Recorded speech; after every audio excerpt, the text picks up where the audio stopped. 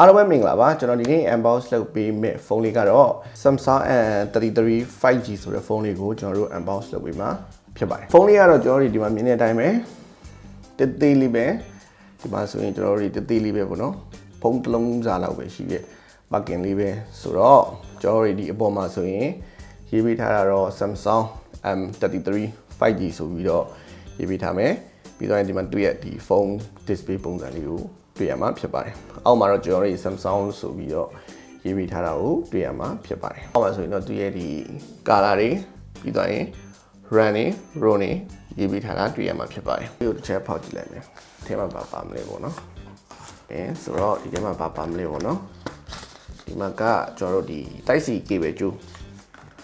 Type C cable ကျိုးကိုသူကဘယ်လိုမျိုးလဲဆိုတော့ကျွန်တော်တို့ Type C to Type C ပေါ့နော်။နောက်တစ်ခုကသူရဲ့ဒီ guideline ပေါ့နော်။ guide လေး guide စာရွက်လေးတူသေးလေးပါလာမယ်နောက်တစ်ခုကတော့ဒါကတော့သူ့ရဲ့ IMEI ကြပြပါမယ်ပြီးရင်ဖုန်းဖုန်းပါမယ်ပြီးရင်ကျွန်တော်ဒီဘက်မှာပါဂျန်လေးလေးဆိုတော့မှတော့မရှိတော့ဘူးဒီဘက်မှာကျွန်တော်တို့ဒီ single ထည့်တဲ့ပင်ပါမယ်ဆိုတော့သူ့မှာပါတာတွေကတော့ရိုးရိုးရှင်းရှင်းပဲဘာမှမပါဘူး single ထုတ်တဲ့ပင်ပါမယ်ဒီ type C2 type C အသွင်ကြိုးပါမယ်ဆိုတော့အသွင်ဒုံးပါလာမှာမဟုတ်ဘူးကိုကကို တသက်ဝယ်ပြီးတော့သုံးရင်သုံးဒါမှမဟုတ်အရင်တုန်းကကိုသုံးနေတဲ့အသွင်တိုက်စီအသွင်ကျိုးပေါ့နော်တိုက်စီအသွင်ကျိုးရှိရဆိုရင်အဲ့အသွင်ကျိုးနဲ့ပဲ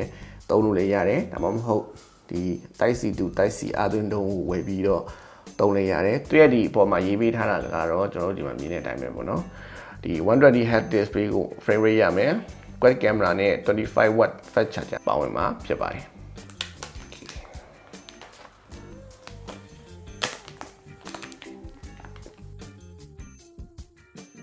ဒီတော့ပုံစံနဲ့မှာကျွန်တော်တို့ကင်မရာလေးလုံးကိုတက်ဆင်ပေးထားမယ်ပြီးတော့ကျွန်တော်ဒီအောက်မှာ plug ပြီးပါမယ်ဒီနောက်မှာတော့ကျွန်တော်တို့ Samsung လို့ရေးပေးထားမယ်ပါပြောင်းဖြစ်ပြီးတော့ကျွန်တော်ဒီအနောက်ကိုတော့ကျွန်တော်ဒီ plastic ကာဘာကိုပဲသုံးပြီးထားမှာဖြစ်တယ်အနောက်ဘက်ကတော့ကျွန်တော်တို့တောင်းတောင်းနဲ့လက်ရတော့ထင်လွှဲစီမှာမဟုတ်ဘူးဒါပေမဲ့သူနောက်ဘက်ကကျွန်တော်တို့ plastic ကာဘာကိုသုံးပေးထားတဲ့အတွက်တရားပုံကလေးမထင်အောင်တော့နည်းနည်းတော့ GU စိုက်ရမယ်ထင်တယ်သူရဲ့ဒီအနောက်ဘက်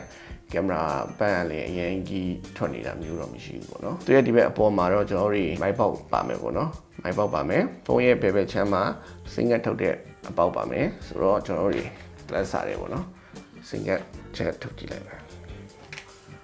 ဆိုတော့ဒီမှာဆိုရင်ကျွန်တော်တို့စင်ကတ်နက်ကတ်သုံးလို့ရတဲ့ပြင် memory card ပါထပ်ဆိုင်ပြီးအသုံးပြုလို့ရမယ်ဖုန်းရဲ့ဒီဘက်အောက်ဖက်မှာဆိုရင်ကျွန်တော်တို့ဒီမှာ2.5 mm ဂျက်ပေါက်ရဲ့ ဒီဘက်မှာဆိုကျွန်တော်မိုက်ပေါက်ရယ် USB Type C အသွင်းပေါက်နဲ့ကျွန်တော်ဒီဘက်မှာ speaker ပေါက်ဝင်လာမယ်ပေါ့နော်ဒီမှာတော့ကျွန်တော်တို့ဒီမှာဆိုရင်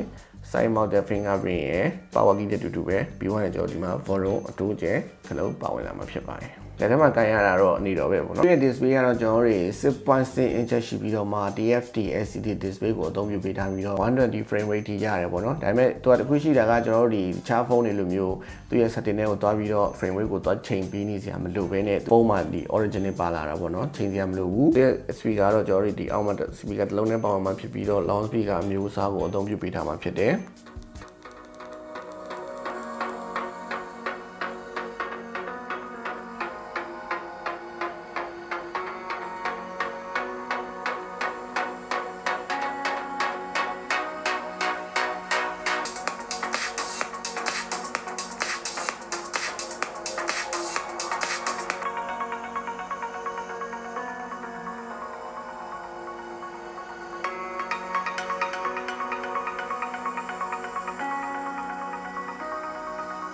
တော်တို့ရွကြည့်ကြည့်မယ်ဆိုတော့ 1080p ထိထားပြီးတော့ကြည့်လို့ရမှာဖြစ်တယ်။သူရဲ့ SoC ကတော့ကျွန်တော်တို့ Samsung ရဲ့ကိုယ်ပိုင် Exynos 1280မှာကျွန်တော်တို့5 nanometer ကိုအသုံးပြုပေးထားမှာဖြစ်တယ်။ Battery ampere 9000 mAh ပါဝင်လာပြီးတော့ fast charger 35 watt အားသွင်းမြန်စနစ်ကိုလည်းထည့်ပေးထားတယ်ပေါ့ app တွေပါတွေကိုကျွန်တော်တို့အသုံးပြုတဲ့နေရာမှာလည်းကျွန်တော်ဒီလက်တစ်ဖက်တွေနဲ့ ACC ပေါ့နော် အသုံးပြုလို့ရတယ်သူရဲ့ဒီဘက်အနောက်ဘက်မှာဆိုရင်ကျွန်တော်တို့ဒီကင်မရာလေးလုံးတက်ဆင်ပေးထားမှာဖြစ်တယ် main camera ကတော့ 50 megapixel ကျွန်တော်ဒီ wide အတွက်က5 megapixel micro နဲ့ဒီ depth အတွက်ကတော့ကျွန်တော်2 megapixel စီအသုံးပြုပေးထားမှာဖြစ်ပါတယ်ဒါကတော့ကျွန်တော်တို့ 1h ပေါ့နော် 1h နဲ့ရိုက်တယ်ဒီကောင်ဆိုရင် 2h ပေါ့နော်ဒီ wide ပေါ့နော် y နဲ့ရိုက်ထားတာဖြစ်တယ်ဒီကောင်လေးကတော့ကျွန်တော်တို့ 1h ဒီကောင်ကတော့ 2h နဲ့ရိုက်ထားတာဖြစ်တယ်